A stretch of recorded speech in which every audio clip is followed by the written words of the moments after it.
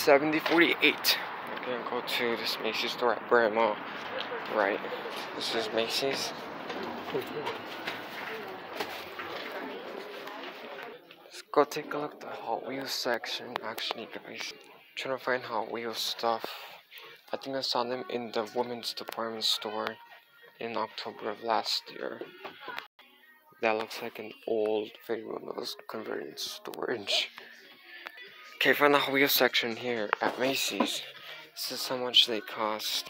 60 bucks. Macy's didn't sell toys back then, just sold clothing. And back then the stores were full and you couldn't fit any toys in the department stores. So, $1.25, not too bad, but a little bit higher than Target.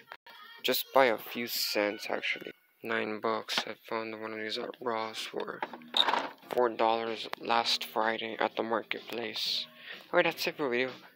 7048.